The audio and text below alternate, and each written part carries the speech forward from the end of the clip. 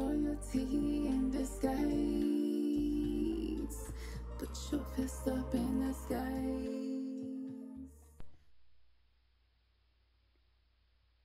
Welcome to the Nuverse. I am Khamsin the Oracle, and today I'm going to be reintroducing myself as I am back to work. I will be working part time as I am recovering from surgery. Everything is going well. The first stage of that is going well. I am grateful for those of you who reached out um, to send your prayers and your good vibrations and encouraging words. I really needed that and I appreciate that so much. Um, so I wanted to give a shout out to Eve. Thank you, Eve. I received your messages. You you reached out on more than one platform, and it did allow me to see your message. There may be others that I am not mentioning, but I want to thank all of you um, for being so positive and so encouraging. As we are entering into the eclipse in Scorpio, coming up May 4th, May 5th, depending on where you are located. There are a lot of energies in the emotional body that are being purged. And it can be uncomfortable at times, and sometimes you can feel really great about where you're heading in life, and the next moment you're not sure if where you're heading in life is where you desire to be. So, I want to share with you some of the intuitive guides that I have been receiving about this through my own personal experience as well as the collective experience. Shortly after coming out of the first stage of the surgery that I'm having, I began having pain in the left eye and this has been ongoing for a couple of months. And I decided to make a priority to get that checked out. As we know, the body is the temple, and you must take care of your temple as best as you possibly can. Um, there is isn't any way for healing and transmutation of trauma to happen if you ignore the body. One of my favorite authors to listen to talk about this is Gabor Mate. And I post a lot of his content on the community tab and on social media as well. I highly recommend you check out his book, When the Body Says No, and his new book, The Myth of Normal. So, in studying the way trauma affects the body by paying attention to symptoms, you can also receive intuitive guides as to your journey and any messages that are coming through for you. The left side of the body represents the feminine, as the right side of the body represents the masculine. Shortly before going into the surgery to restore bone loss um, in my jaw, this pain became so obvious I couldn't ignore it anymore and I couldn't write it off as just something that's happening and it'll go away on its own.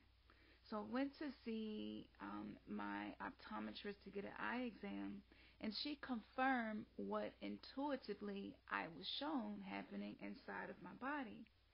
There was a hemorrhage in my left eye and this is one of the symptoms that can be caused by sickle cell anemia as well as other things. But for me, this happens because of the sickle cell anemia.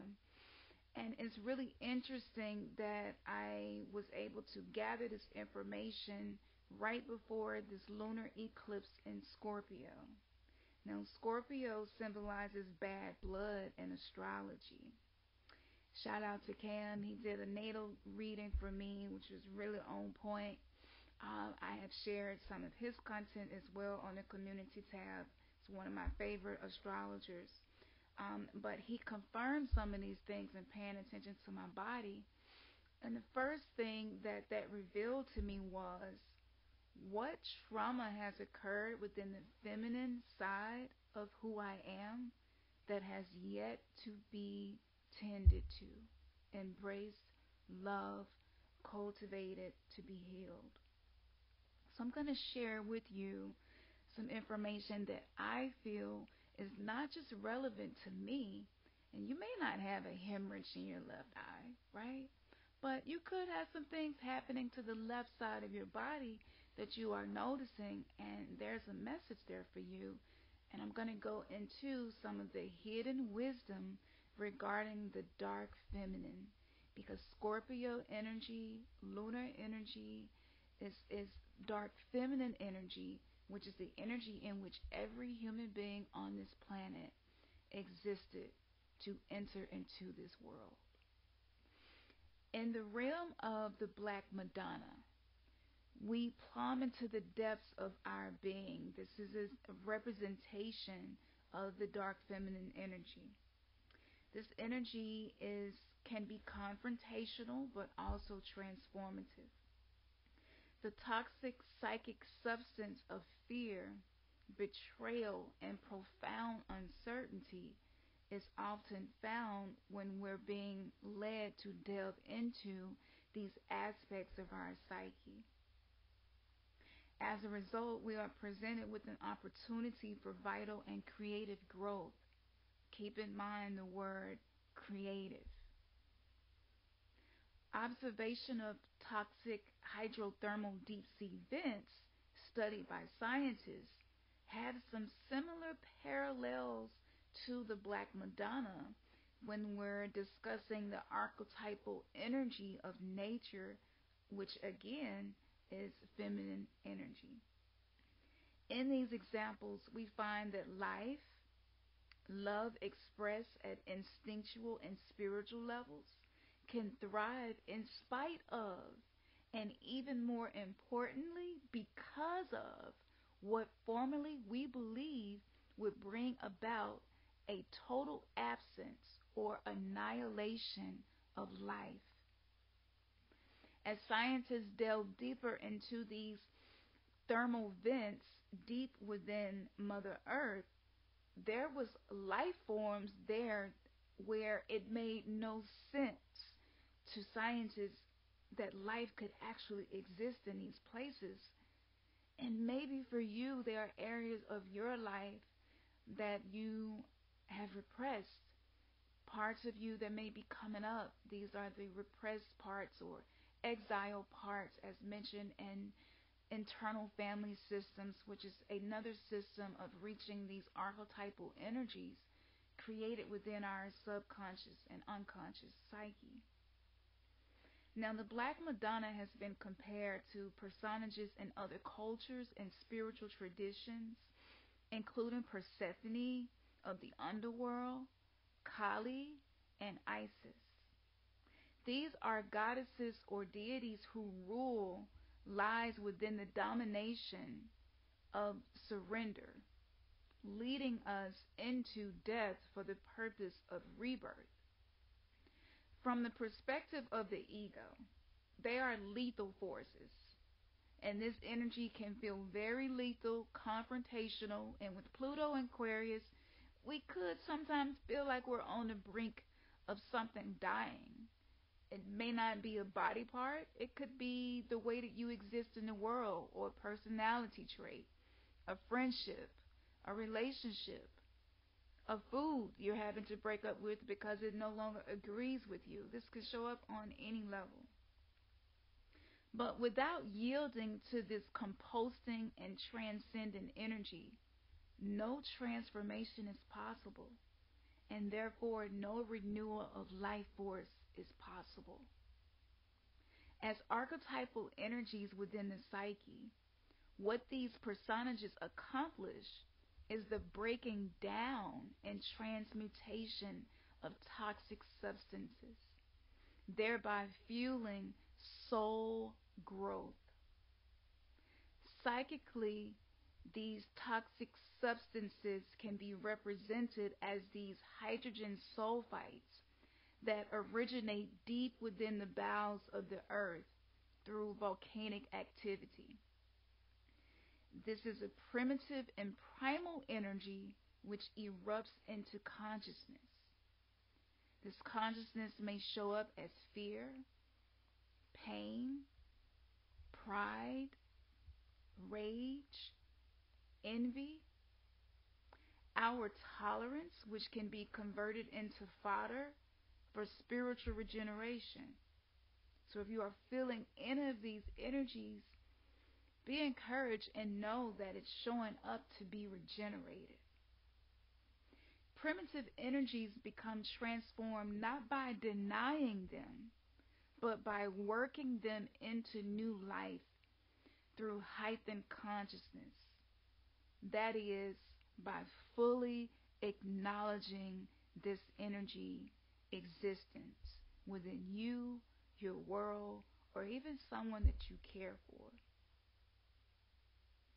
These energies are difficult for those of us who are aware of the traumatic experiences and the dysfunctional patterns we took on to survive our childhood experiences upwards to present.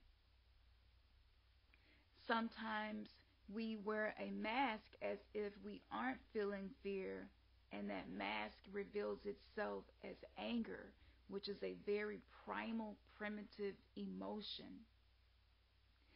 The ability to enter into higher consciousness so that you can perceive yourself, your life, and your spiritual journey from a higher perspective first must be established by you becoming more conscious of the things it may hurt for you to see. And let me tell you, that pain in my left eye, it hurted so much and I ignored it. And I, I already knew what it was going to reveal, and there was a fear about that, and I had to face it. And once the examination was done and she looked into the depths of the eye, into the back of my eye, I felt comfort when she confirmed what I knew was happening inside of me through body scanning and meditation.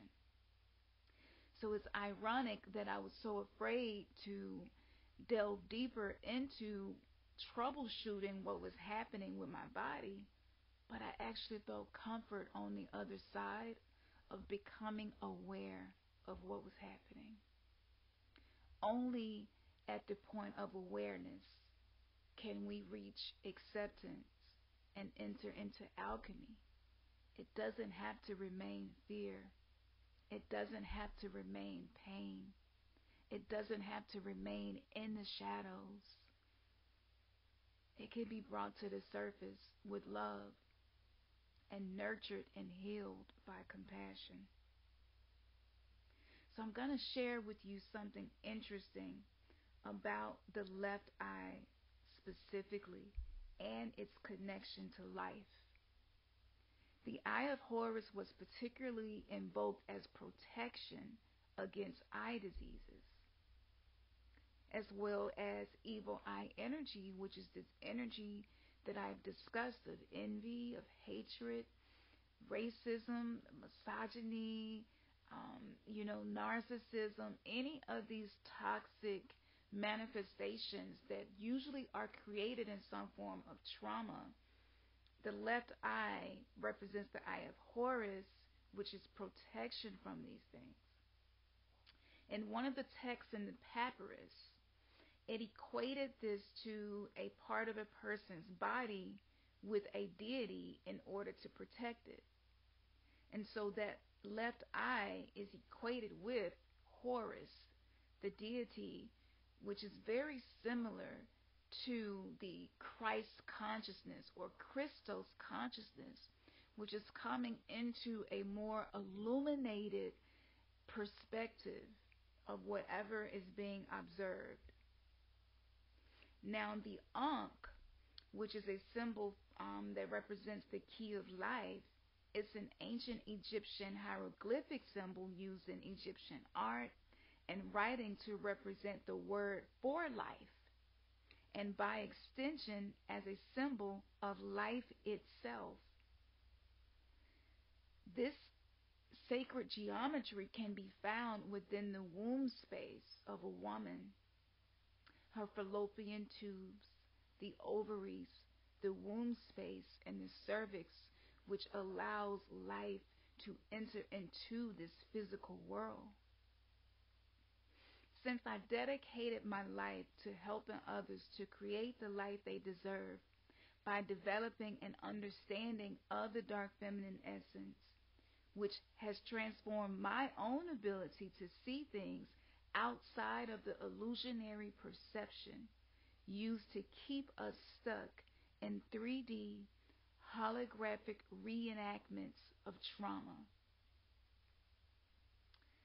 Now, with these symbols in place, which I discussed in the lucid dreaming dream interpretation masterclass, because the Eye of Horus was one of the dream catchers that I have been working with. How ironic. When spirit speaks, spirit speaks. And these things were definitely pointing me in the direction of focusing on not my wounds, but how I have been protected. Now, this relates to the lunar eclipse of Scorpio coming up, and I actually stumbled on this information. And I love synchronicities and serendipitous moments that happen like this because it's so affirming that you are being guided by spirit, by the unseen realm assisting you. So I'm going to share a little with you about the lunar eclipse, the Mayan calendar, and its connection to the Eye of Horus. Eclipses, when viewed as disruptions in the natural order, are natural phenomena. They are thought to be bad omens by many groups because they appear to be a sign of something bad happening to them. The story of the god of chaos, Set, stealing the moon eye of Horus, the god of the sky, is told in ancient Egyptian mythology. Paith, the god of learning and mathematics, searched through darkness in search of the object and returned it to its rightful place in the heavens.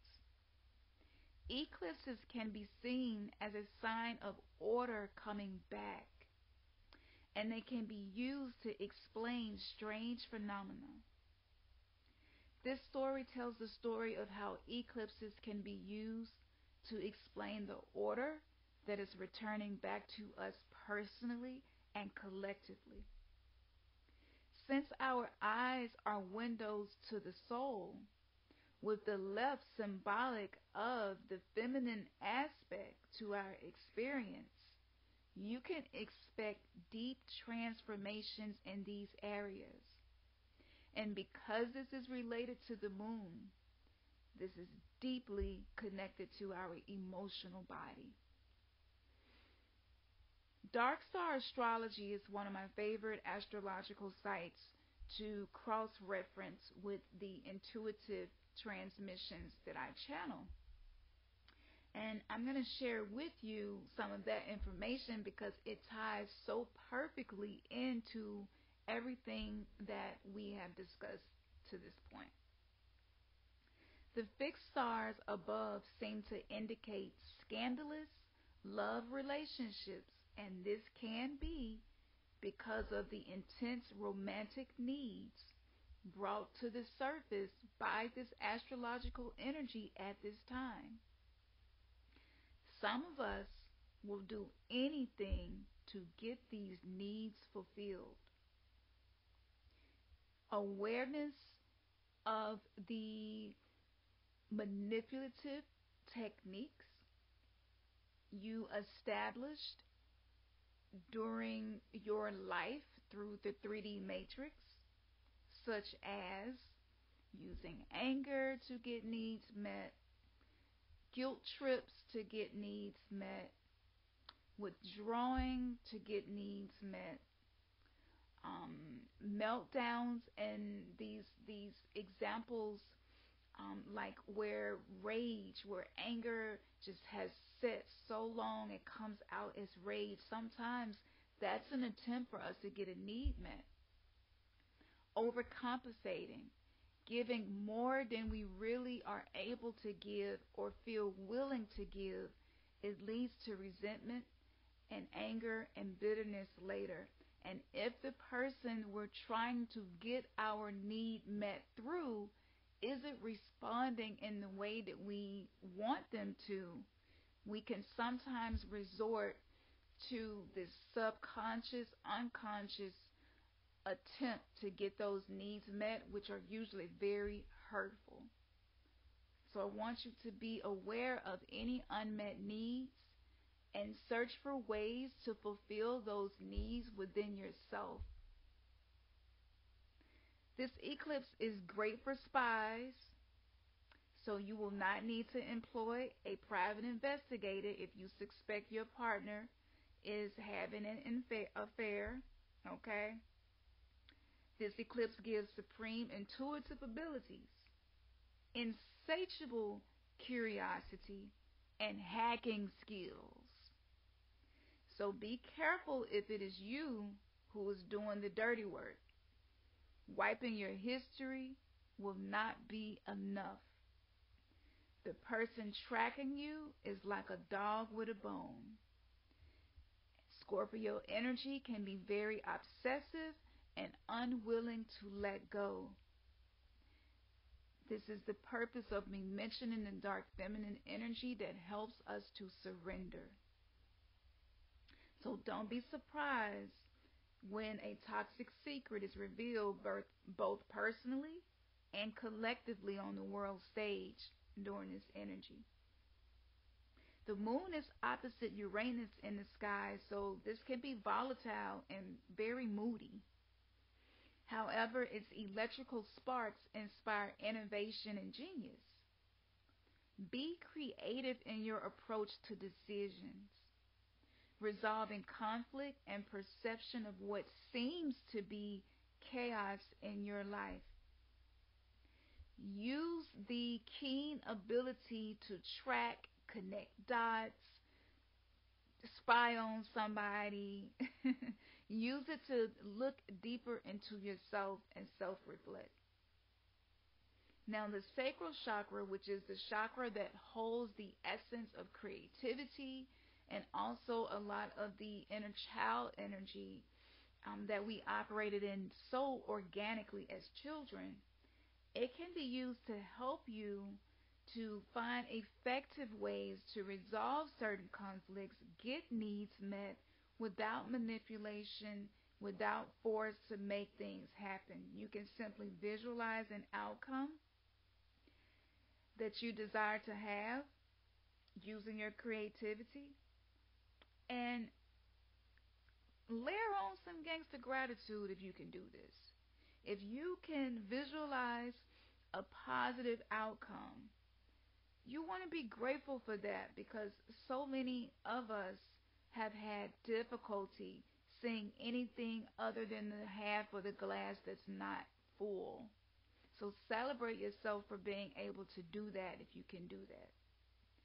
The sacral camp that we have, which I will put all the links in the description, helps to activate the sacral chakra using affirmations, tarot card readings, and guidance.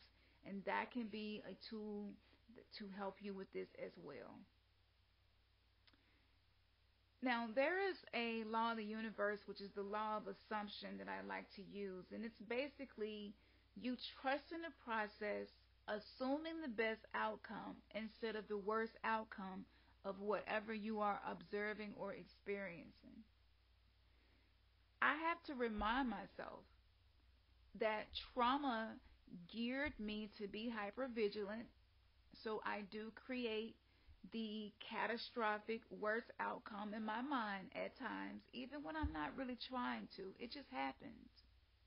But by me resisting judging myself for that and acknowledging that that's just my brain compensating for some of the past experiences I had, it doesn't have to be the way I choose to operate, think, and believe.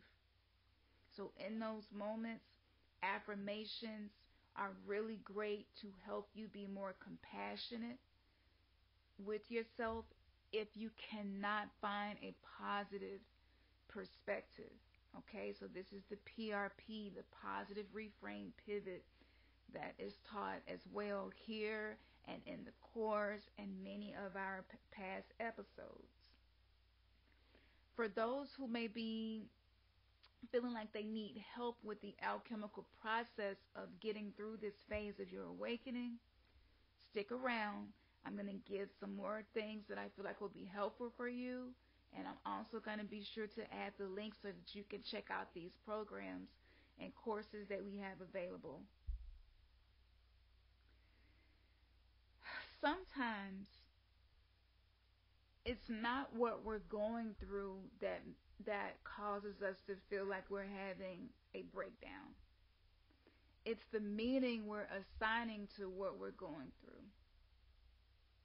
So I want to give you a PRP as to the reason that you may be experiencing some type of breakdown, some type of ending, death of something in your life. For those that feel themselves losing hope in a positive outcome occurring, I want to encourage you and let you know that you actually are affirming that it's going to work out for you. Now, in the alchemical process that we are going through in our spiritual journey as we're shifting from a three dimensional way of relating to ourselves and others to a five dimensional way of existing. The true beginning of the journey commences when matter turns black. One alchemist writes When you see your matter going black in the alchemical sense, rejoice, for that is the beginning of the work. By comparison, Carl Jung postulates that getting to a state of psychological wholeness means, at least for starters, confronting our own blackness, the pride, the greed, the envy, fear, and alienation. Without this first step, we cannot find true light, which is the inner gold. Death itself brings us to a fuller experience of life, not from the standpoint of the ego, but from the standpoint of spiritual growth, where we surrender our smaller will to the mystery of the unknown. A full acknowledgement of death prompts us to the procreative possibility of bringing new soul life, a deeper love into this world by finding it within the shadows inside of ourselves. So if you are starting to feel like you're losing hope about a certain situation, know that that is a alchemical step in the direction of releasing something that no longer serves your highest purpose because sometimes hope can cause us to hold on to something that's actually hurting us unnecessarily. And our attachment to certain things is being made visible to us. This goes back to the eye of Horus. We're beginning to see areas where we do have attachments and we sometimes do refuse and resist change and transformation. But it's all for our benefit. No matter where you are in the journey of spiritual awakening to the traumatic experiences that you are being called to transcend, we will all eventually arrive at the evolutionary cycle of Christos consciousness of becoming the embodiment of the eye of Horus, becoming no longer the victim in our story, but becoming the protector. And this leads me to boundaries. Are you protecting what you find valuable within yourself? Or are you still willing to give away what someone may desire to have because you're afraid to be abandoned. There will be plenty of moments where you will feel fear, abandonment, and rejection come up. And in those moments, you want to protect your values and your beliefs and who you are. This isn't about us hurting one another. This is more so us learning to mature in the way we coexist with ourselves, different parts of ourselves, and others.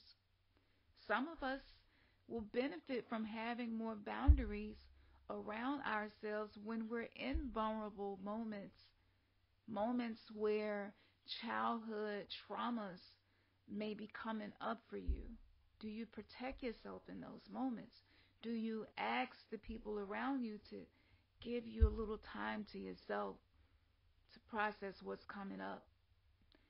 You know, the, these are the questions you want to focus on because if you don't, what happens is your focus goes outward to obsessively ruminating about who is maybe not playing a role in your story that seems useful. And whenever we become externally focused like this, we're giving our power away. We're leaking our power and so when we are going through certain um, phases of healing, being able to create a boundary around ourselves, knowing when we need to take time to meditate, to pray, to petition our ancestors, to work with our guides, to sometimes just be alone with your breath and practice being with yourself and whatever emotions are coming up in non judgment it is our responsibility to create boundaries around these moments. They are valuable and they're precious. Now, according to Bonifer, one of the authors that I was studying and putting this intuitive guide together, those who have experienced extreme trauma with a profound understanding of what they have endured found their way to an unfathomable faith which grew from an incomprehensible abyss of what could be perceived to be demonic chaos and destruction. Their spiritual legacy is a beacon to the world, their innocent suffering a redemptive act for the collective. In our day to day lives, we too are confronted with the challenge of redemption whenever we are overcome with a personal experience of trauma or a sense of alienation and despair. Most of the qualities that drew people to my channel, my spiritual journey, and many of the things that I have shared, even when I didn't really want to, I knew that there was a purpose in the pain. And that resonance that people have felt with me was from a space of rebirth. And that only happens when you go back into the void, back into the dark spaces. And this is where seeds ultimately are planted. And I had to learn to appreciate and be grateful for endings and for death the threat of becoming blind for the second time in my life actually helped me to see how I can best serve others as I'm healing myself. During this time, if we turn away from these darker places, we risk great danger and damage. By turning away from experiencing our own sadness and darkness, we risk extensive projections, which can lead ultimately to the persecution of individuals that we love, groups, left at the mercy of a striving, solar, polarized, toxic, masculine, patriarchal consciousness. And yes, I am speaking to the experiences of the feminine on this planet who wasn't appreciated, respected, and embraced. We risk self righteousness. We risk scapegoating, sexism, racism, genocide, and other atrocities of marginalization, such as the tyranny of poverty and lack of education.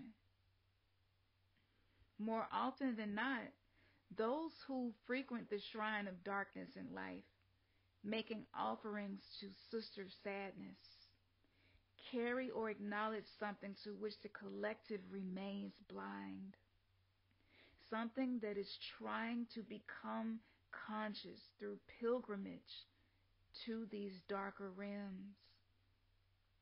The collective of those yet to step into this enlightenment to the traumatic patterns that we carry are blind to certain aspects of the events occurring and unfolding. There is a level of awareness necessary to isolate your personal pain from the collective pain.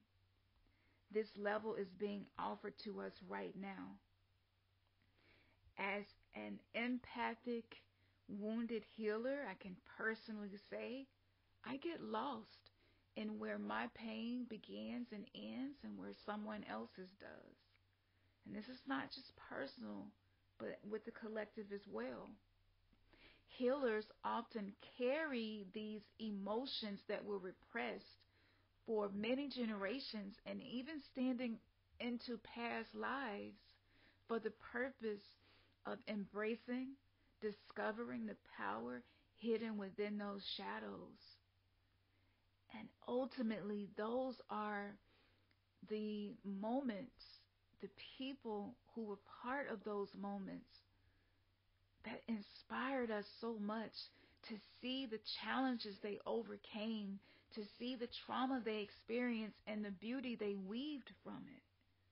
It's something that's very respectable and desirable about that, and we all have that potential, and we all are being invited to develop this innate sense of self, to rediscover our authentic selves, what's ours, what isn't, and what to do with it.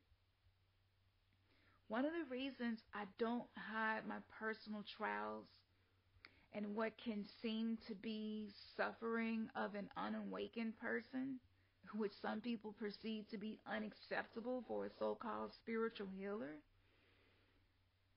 is because I feel that it's more beneficial to sacrifice my false self mask, allowing vulnerability and transparency to permeate anything that I touch. This keeps my ego as an ally versus my enemy. And there are times where I ask myself, am I oversharing? you know, maybe I should keep some of this to myself. But when I hear your stories, when you comment, when you book a reading, when you're working through your course, when you have this desire that is unquenchable and you refuse to be distracted and you are working through whatever we are able to make available in our community, those moments inspire me to continue to do that because without the pain that we truly experience being seen, how can anybody actually overcome anything that they're going through if you only suffer in silence? False self masks were very useful for the 3D planet and many of the constructs that we had to navigate, but now they actually block intimacy and they destroy any potential for us to develop deeper connections and to attract our soul tribe, attract our soulmates, attract teachers and healers who can speak specifically to us and where we are. Now, this is just part one of this. I broke this down into segments I'm pacing myself as I'm coming back to work.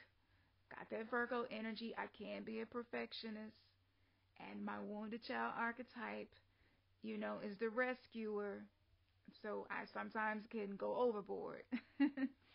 um, so if if this information was speaking to you, check out everything in the description, whether it is the Patreon vault that holds all previous podcasts that we can't post anywhere else, as well as cited sources, links, meditations that you can use, but the chakra camps for inner child healing, which comes with the free ebook, and the 3D Matrix Detox course that contains ceremonies, fire pujas, and rituals that you can use to help work with this energy. So take this opportunity to invest in yourself.